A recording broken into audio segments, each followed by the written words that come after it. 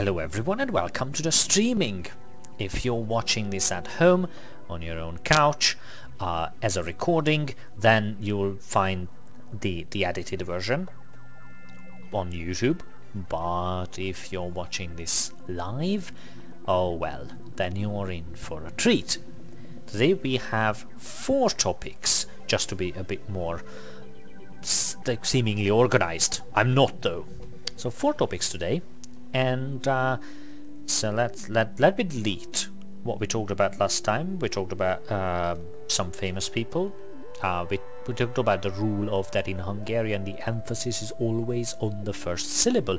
And since today I am going to read you the text which is is not not this one because we don't care about that one.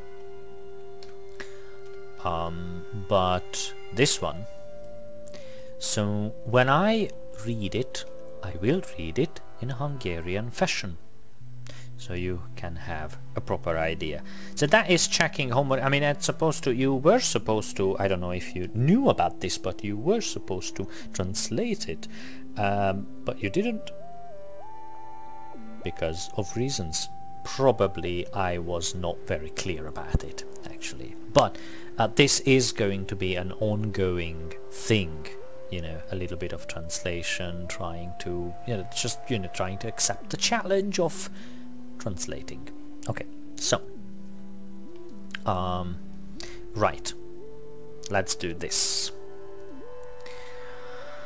Uh, that first sentence is very easy. It reads elkészítés let me repeat that. Elkészítés it's basically a noun with lots of attachments and this one makes it uh, into a noun meaning preparation. Without this attachment it just means to prepare. A húst megmossuk kétszer két centiméteres, because that is centimeters, centiméteres kockákra vágjuk. Let me read that again. A húst megmossuk, kétszer két centiméteres kockákra vágjuk. Very simple. This means to wash. So we are, we wash the meat, because that's the meat. And then that is cube so we uh, cut the whole thing into 2 by 2 centimeter cubes. A hagymát megtisztítjuk, megmossuk, felaprózzuk. Let's do that again. A hagymát megtisztítjuk, megmossuk, felaprózzuk.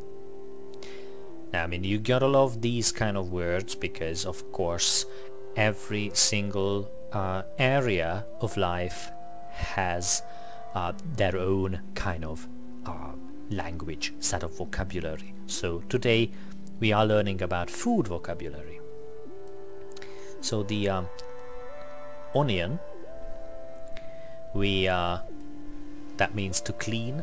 So we we clean the onions. Well uh, we uh, wash it. Again we do that. And then again um, we uh, cut it into this this word literally means that we cut it into tiny pieces. That is the expression what this means so again, uh, we take the onions and clean it, wash it, and then make it into tiny, uh, cut it into tiny pieces. A zöld paprikát és a paradicsomot leöblítjük, a paprikát kicsumázzuk, és felkarikázzuk a paradicsomot meghámozzuk, vékony csíkokra vágjuk. So let me read that again. A zöld paprikát és a paradicsomot leöblítjük. A paprikát kicsumázzuk, és felkarikázzuk. A paradicsomot meghámozzuk, vékony csíkokra vágjuk. Well, that's just a mouthful. It's not very uh, complicated, I would say. So the um, the green pepper, and and then we take the green pepper and the uh, well, this is I mean this could be paradise as well in English, but tomatoes in this case. Uh, literally, there is no difference between paradise and tomatoes in Hungarian language. So either you you know going to visit the very famous heaven uh, in the afterlife, which is paradise, or you're going to eat tomato. I'm just saying. Context matters. So the green pepper, uh, we take the green pepper and, and then we uh, we wash it. That literally means sort of like, well, I guess that could be rinse it, but wash is perfectly fine. Um, then uh, take the uh, take the, the the inside of the uh, the pepper or the paprika, which I don't think I know the the proper English word, or if there is any. You know that the the, the part of the paprika. Let me make it interesting. So that's the, the the part of the paprika which is I don't have any though, but you can imagine just the pepper and and you take the inside out because um, we don't you know with all the seeds and all the things and then the the little thing that that just sticks out to whatever it's called. Um so that that part. Well yeah I know. Anyways.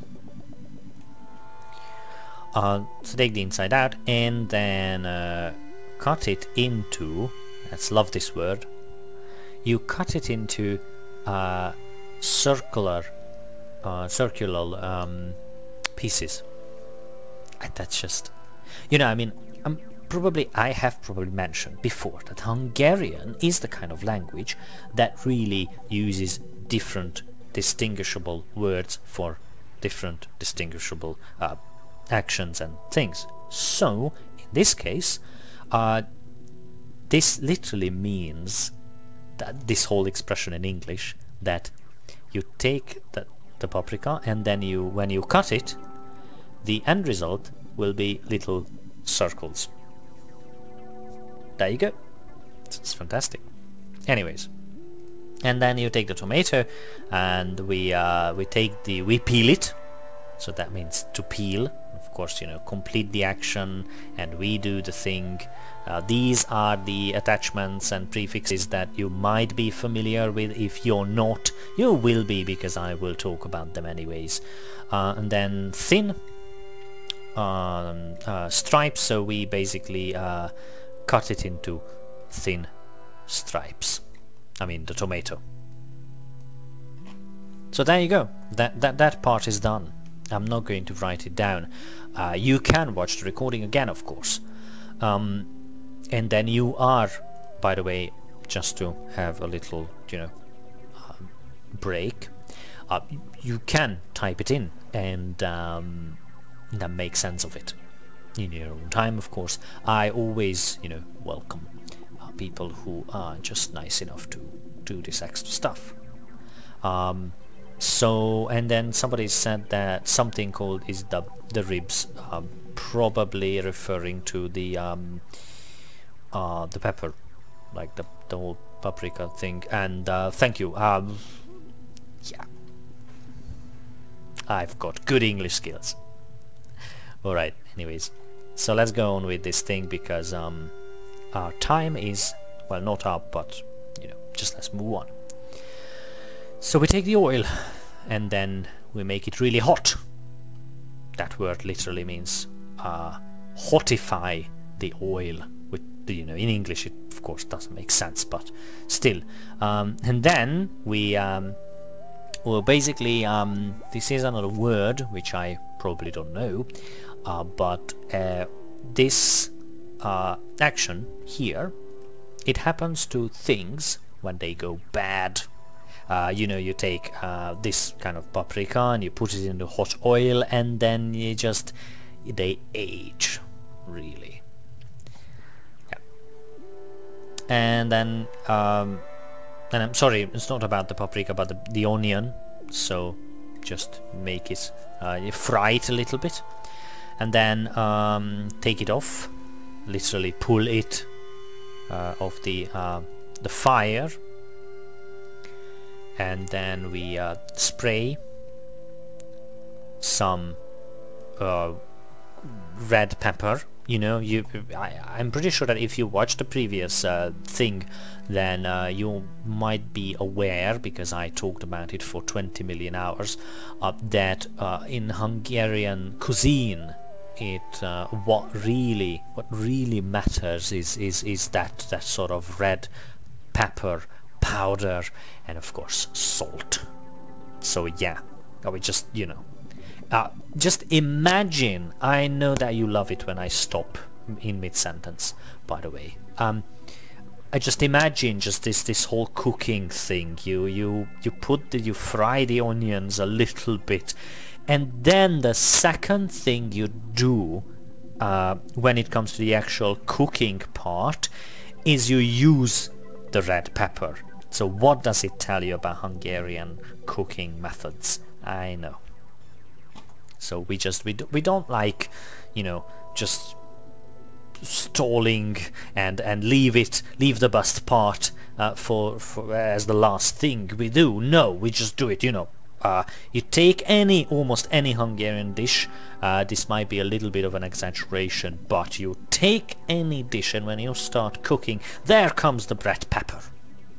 That's how it, that's, oh I don't have it though. But I, then again, I'm a lousy Hungarian. I've got chocolate with this big egg chocolate that you can apparently get um, in the UK around Easter. That doesn't matter, that's not red pepper let's move on so we uh, we spray it with the you know like we spread some red pepper over it and then I love this. This means to throw. So you literally uh, th onto th we throw the meat onto the thing. This this this whole this whole thing. Uh, yeah I mean just just imagine. I know this is kind of uh, I mean, essentially that's what you do. I mean, we are not wrong here because, you know, you're not going to place the meat um, with this, you know, the, the little um, 2 by 2 cube, uh, cube meat things. You're not going to, like, tap it with your hand or something. Everything is hot here, so, you know, just throw it in. Oh, good lord.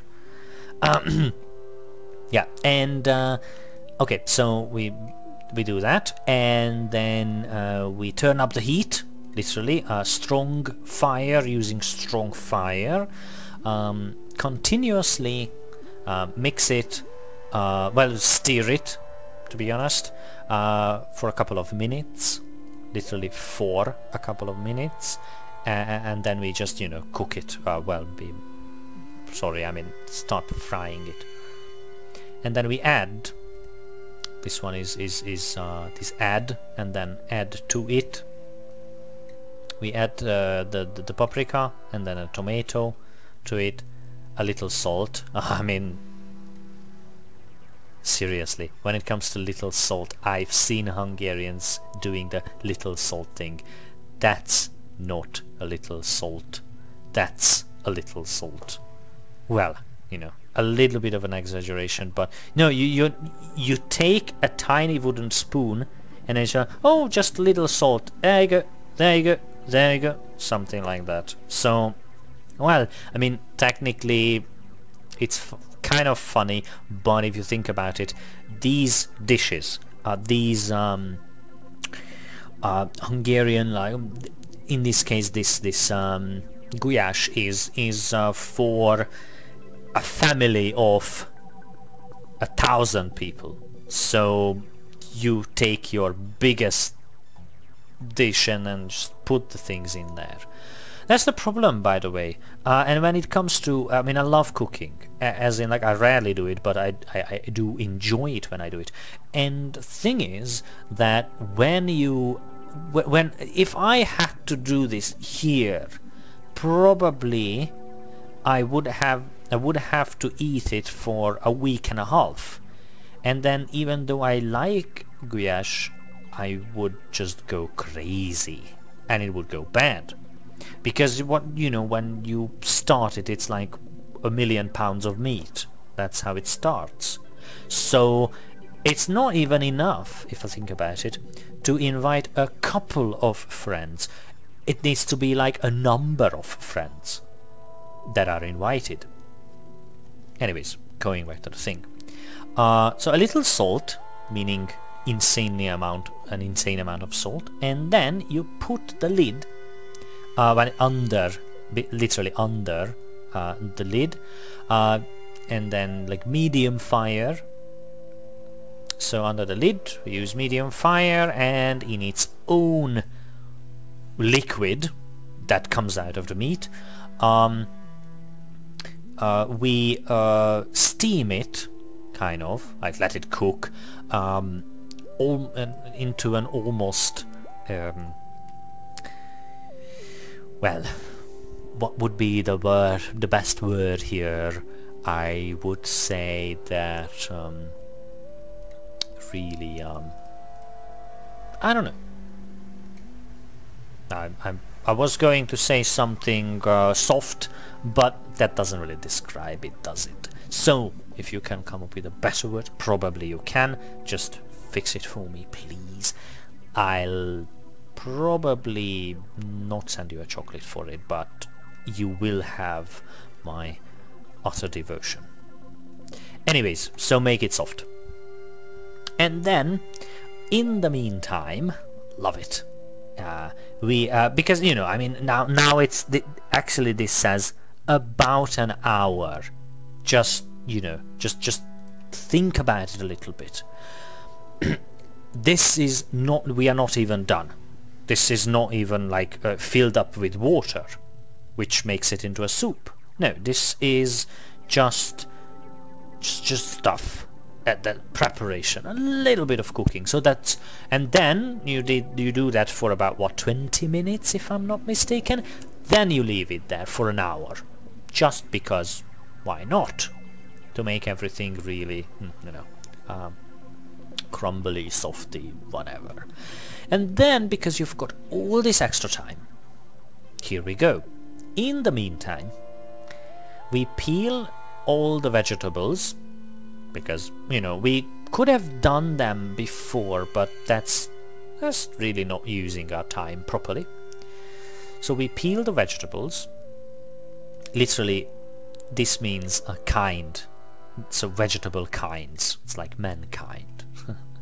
and uh, tiny and then you, you you're probably familiar with uh, cubes so we cut them into tiny cubes and uh, oh yeah just the, the word has arrived which I obviously recognize. It's uh, so going back to the meat it's tender.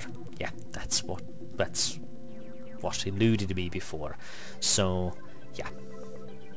Good work thanks. Um, right now going back to the whole thing. Um, so uh, we cut them into tiny pieces and then uh, we take the, the pasta literally. With the pasta I mean so you take the, the, the vegetables and with the pasta um, you add it uh, to the meat you know. So that's awesome. And then since we've been doing this whole thing for more than an hour now because first of all we are actually um, cooking for a whole army that's the first thing. And the second is that we had these we had this extra time and then we are talking about lots of vegetables so you know. Then uh, once we added all these things and uh, we um, pour water uh, as much that means as much and then of course this is the as part.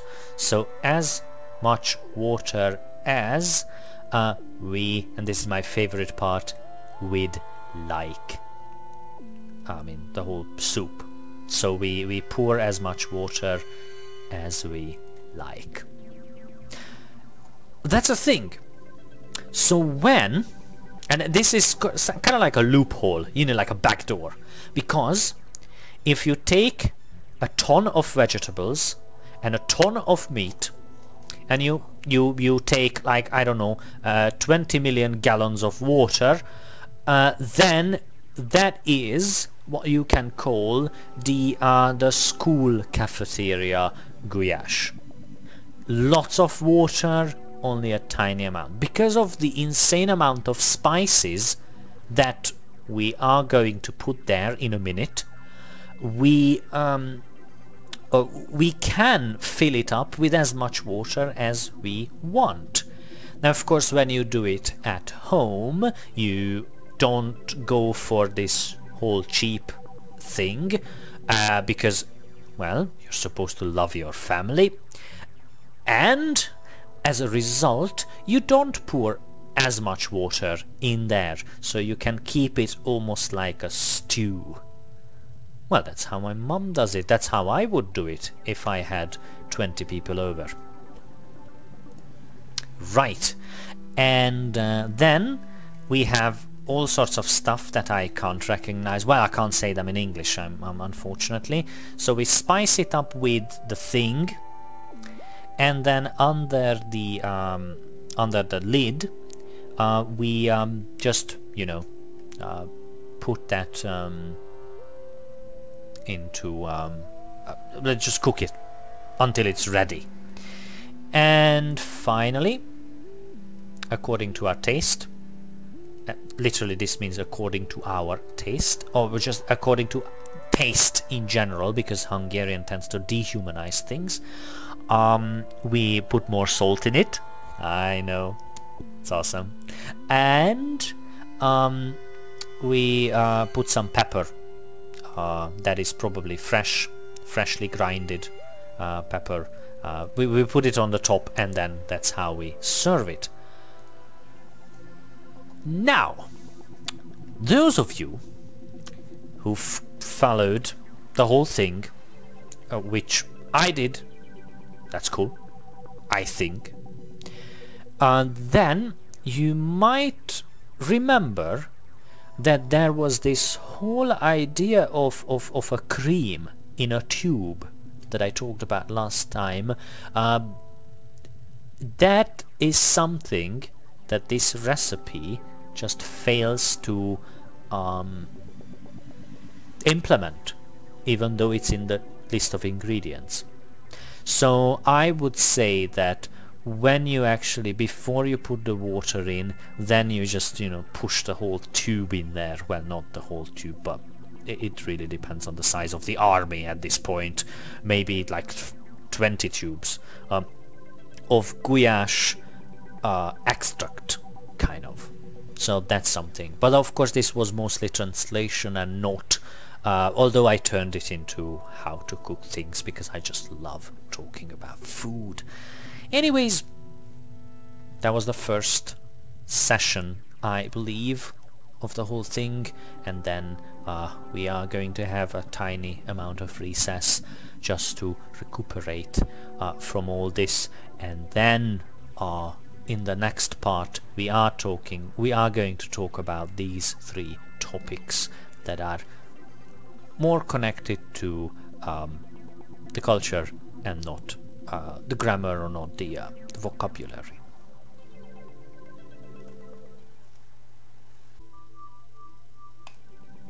Right. Welcome to session number two, or part two, or whatever you want to call it. And now we have actually four... Um, I really did that. That was not part of a joke. And yeah, that's really a joke. Anyways, so four topics today. and uh, the first one is uh, a, kind of a relevant question. Uh, do you know how I can convert my keyboard to use correct Hungarian letters? And first of all, this is the link. I sent it to the stream and then this is the, uh, hang on, this is the link for the tutorial. So, assuming that you have a Windows 8 or 10 machine, uh, it works mostly with Windows 7 as well, I believe. If you right click on your start button, then you have the list uh, and it says control panel at some point and then you can bother with the icon views when the whole thing comes alive but what you are looking for is language and and technically here even here it says change input methods. That's perfectly fine. Uh, so you basically in language you can add a language and when you add a language well you can add really add an input method. Uh, you will find it there probably. And that's it. That's that's that's it. You you find Hungarian there as the input method and then uh, down in the uh, bottom right corner if you have the start menu like I mean the, the taskbar like mine uh, I don't I don't have it actually like that uh, because I only use my Hungarian keyboard here. Um, then uh, you basically uh, add Hungarian, any sort of language, and you're all set. Now, what you need, of course, is a reference to a keyboard that is, well, big enough. I said big enough. Well, I guess that will be big uh, to know where all the keys are. And uh, that is a Macintosh keyboard but most that you know when it comes to all the keys obviously in every single keyboard they are in the same place. Uh, otherwise you couldn't type. Uh, like that. So here we have the accent marks over there. And then here we have the question mark. And this part is my biggest pain because if you use an English keyboard next to the Y there is nothing. Because that I mean next to the Z sorry because in on an English keyboard these the Y and the Z are switched. So next to the Z there is nothing. I mean probably more shift here. But in, in the Hungarian on the Hungarian keyboard you've got the long I. This is the short E well in this case as you, as you pronounce it in Hungarian and this is E, the long one. And so technically you might not be able to you, you type the, the long E in there because there is no um, I've got a company MacBook and it has something there uh, which is not the I but when I switch to a Hungarian keyboard on that particular machine, then uh, I can access the extra I. Uh, alternatively, you can just buy a Hungarian keyboard, uh, which is kind of a pain because the shipping will cost way more than the keyboard itself. Anyways, so going back to the thing, but if you don't want any of these, you can always try Google Translate because if you uh, set the uh, keyboard to Hungarian, here you can actually have a Hungarian keyboard. A 101 button Hungarian keyboard, so you can just, you know... And as you can see here, this is what I was talking about. For some reason they put the I over there, but uh, this is this is this is too much shift. There shouldn't be this much shift in here.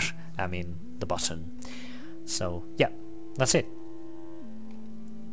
Second topic. So talking about food, of course. Drinks. So what can tell about Hungarian wine, beer and all the juices? Okay, so we have the juices, that's fine.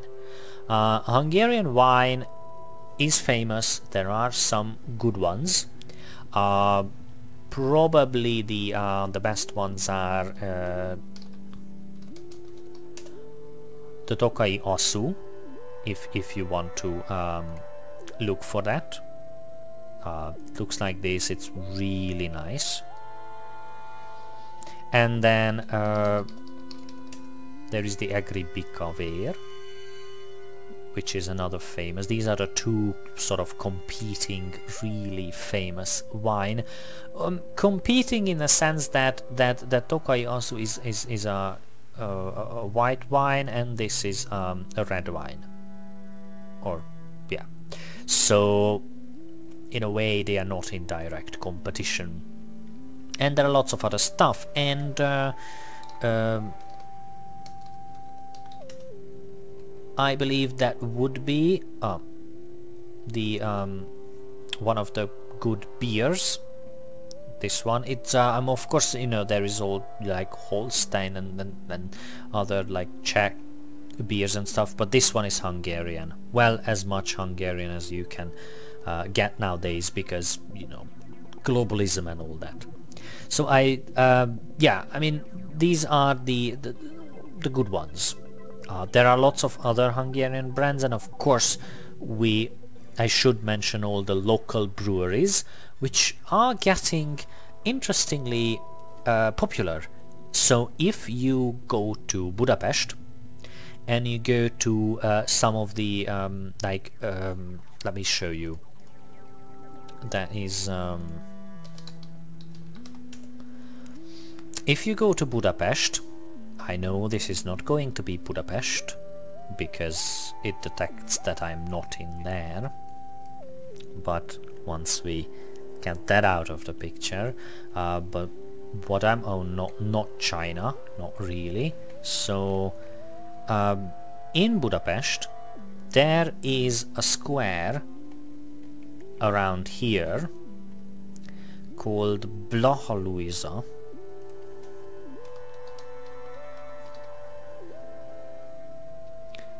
uh, it's over here there. And around here Klauzál tér and all these like Király utca which means King Street uh, here there is this kind of new place uh, with all sorts of pubs and crazy stuff. And also over there so so something like between uh, Deák and Blaha and, and, and th this this area over here. For some reason uh, in recent years there uh, there are lots of pubs that opened here and they often uh, have local or like countryside breweries uh, selling them uh, beer like their own beer and and some wine and and well that's not brewery but like winery but whatever. So that's the idea. That if you go there you'll find all sorts of weird things. Uh, obviously people speak English there because that's one of the um, great places to like areas for tourists. So because everybody speaks English there I know I tested it. I'm guilty. Um, because I've got some friends who speak English and of course you know why would I speak Hungarian? Well anyways um, so they speak English very well and you can always request some. So they will tell you what's up with all the breweries and and stuff like that. Uh, and then of course uh, past and future tense. So uh, this is another topic and one of the, the, the closing because I'm not sure that we'll have time for this one but there is indeed a big difference between this whole English uh, Anglo-Saxon Western culture and Hungarian culture. And then I could I usually talk for hours about it for my students and probably I can talk for a couple of hours about it for a couple of hours in the next streaming stuff so anyways as our last topic I guess uh, you know Verbix which is over here anyways just sending the link as always. Uh, if you put any verb there, I don't know, for instance sétál, then you get this nice table with all the conjugations, which is awesome. Oh, sorry. Yeah, I... There you go. Sorry about that. I forgot that you were watching me and not the screen. This is confusing though. I mean for me. anyways so go to verbix uh, and then uh, put any verb in and you'll find all the stuff and then of course you find future as well because you know why not uh, but this is these are the eight you know present uh, uh, de indefinite definite again indefinite definite with the conditional and past indefinite definite again conditional indefinite definite. These are the eight groups that you have to concentrate on. Because uh, they have their own distinguished uh, or distinguishable uh, or separated endings that sometimes are similar though so you just be warned. But what you have to what you really have to struggle with or probably will struggle with is is definite and indefinite because they look different. In English there is no distinction. I mean you know you either eat sandwiches or you eat a sandwich or the sandwich, that sandwich in particular. But then of course because Hungarian deals with endings it will change the this whole situation will change the ending of the verb. Anyways, present, past, definite, indefinite and conditional and that's all. You can forget about the future because we rarely use it. Future is for really emphasizing that something happens in the future, you will not find that uh, the Hungarians use that often because there is nothing to emphasize.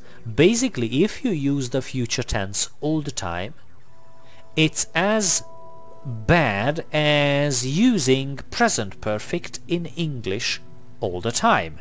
You know, just think about it. I have gone to the cinema. I have bought groceries. I have cooked dinner. I have done this. I have done that. It's sort of like big announcements, one after another. But you should reserve present perfect when for when you have a proper announcement to make. Uh, such as I have broken my leg, I have won the lottery, stuff like that. Uh, so in Hungarian, if you use proper future tense, that's that's what it looks like or sounds like. Right. So just use present. And of course, because we don't have simple present and uh, present, uh, present simple and present continuous, um, we don't distinguish between things that are happening now and happen in general. So there you go. It's brilliant. Uh, it's kind of easy. I mean, you will struggle with the endings, obviously, because of reasons. Um, there, there are many. But you're not going to sort of um, struggle with the the language in a grammatical sense, you know, like a sentence creating basic tense, grammar of tenses sense uh, you'll just learn to hate the endings. So yeah. Wow! That was a lot of information and I, as usual, I'm going to stick uh, to this, like, I'm going to just stream a little bit more, but this is the, the end of the recording. I mean the, the, official recorded session and again thanks for watching thanks for just hitting the thumbs up and the subscribe button and all that sort of stuff it helps I don't know how because uh, well I mean how as in I'm pretty sure that like uh, people on YouTube get like loads and loads of money um, but um, no it just what what it helps with, at least at this point, to me, is is to know that uh, there is, um, you know, I mean, you like it.